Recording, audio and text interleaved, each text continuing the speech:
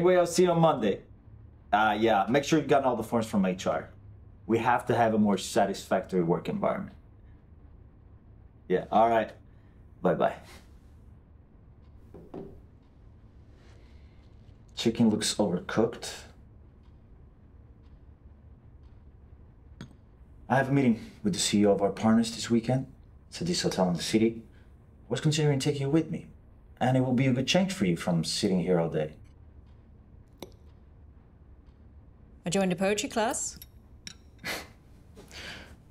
Poetry. Anyone can write poems these days, no?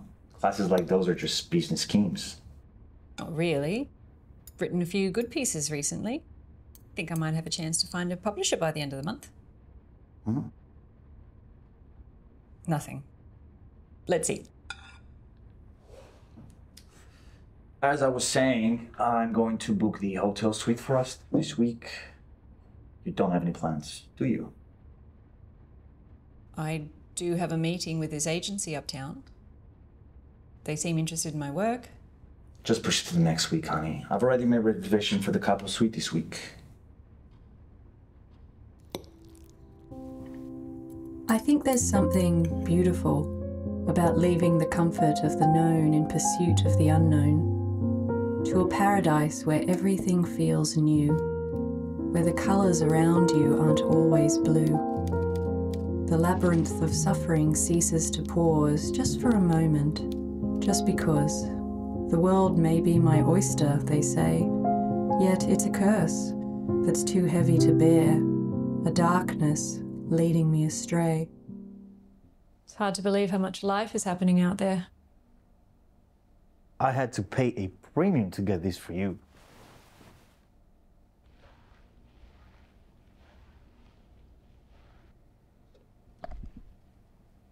Come on. It's been so long since we listened to this.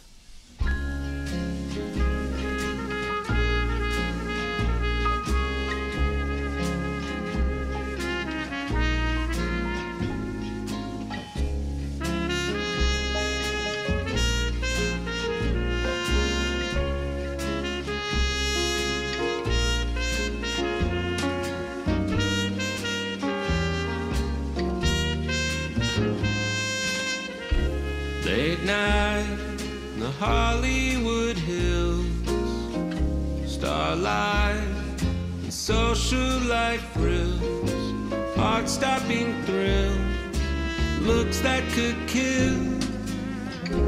Red lips, a lit cigarette,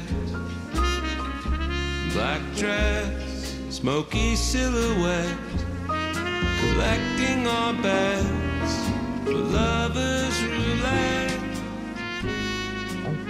say we have something fancy.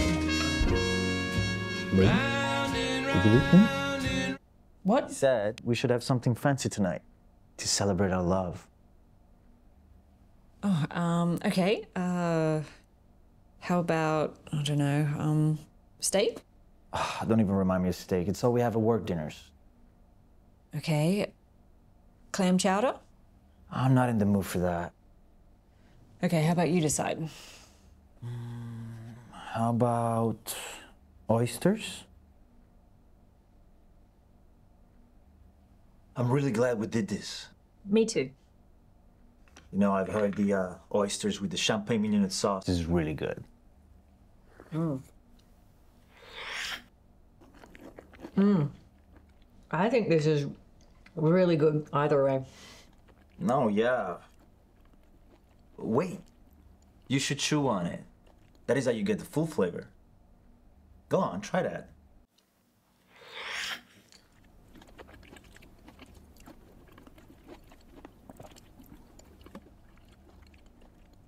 I don't feel any different. It's the same.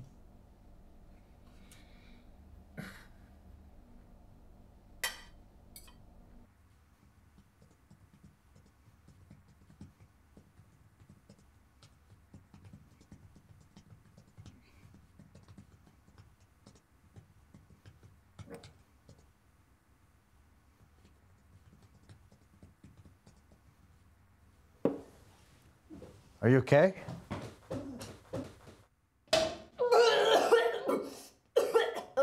Finley, uh, can you tie my hair back, please?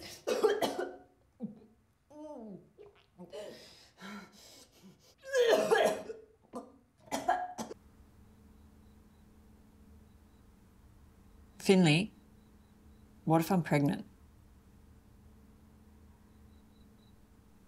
You're not answering my question. What am I supposed to say? I think I want a baby. You're not serious, are you? It's it's we can't just do something like that this fast. I mean, I'm barely home as of now, and What? So we can't have a kid until it's a convenient time for you? Lou, that's not what I mean. You know that. Flynn, that's exactly what you mean. You know, we can rarely have a mature conversation because every time you take what I say and turn it into something I didn't mean, you twist it. Of course. That's funny. What's so funny? I never twisted anything. Listen, I think you're having all these feelings because you're always home doing nothing. It's normal to feel useless and unproductive, Lou. A baby isn't gonna change that. I mean, I told you to find a job. It'll keep I easy. do work. I write. Believe it or not, that's my job. I don't want a nine to five. I'm not you. So you don't feel useless?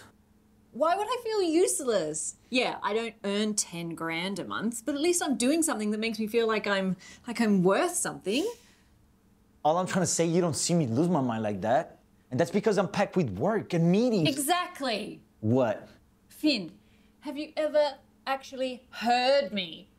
Have you ever actually given a moment's thought to anything I have to say? Yes. S- Please stop fucking lying to me. What the fuck are you talking about, Lou? What is this conversation? You're not pregnant, you're bored. And all this poetry, this artistic endeavor of yours, has possessed you. This is exactly what I mean when I tell you you never hear me. I mean, for once, I am telling you exactly what I want, and for once, it's something that you don't. I mean, every single thing I do is based off of your approval. It's not true.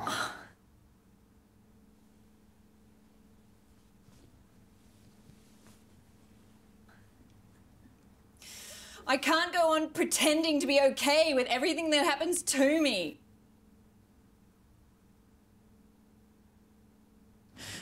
I can't be tied up anymore. You're not tied up. Metaphorically. So a baby's the answer to this. I feel lonelier when I'm at home with you than when I'm there on my own. All you fucking do is think you're kind of a saint with an abusive husband. Oh, I'm so lonely. I'm so traumatized. My husband's never home. I worked so fucking hard to provide for you. I worked so hard. This is how you repay me? You have never done anything for me, ever.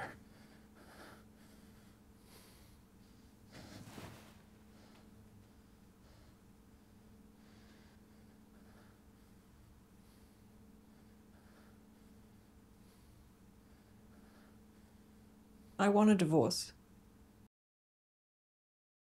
Hell isn't a fiery pit.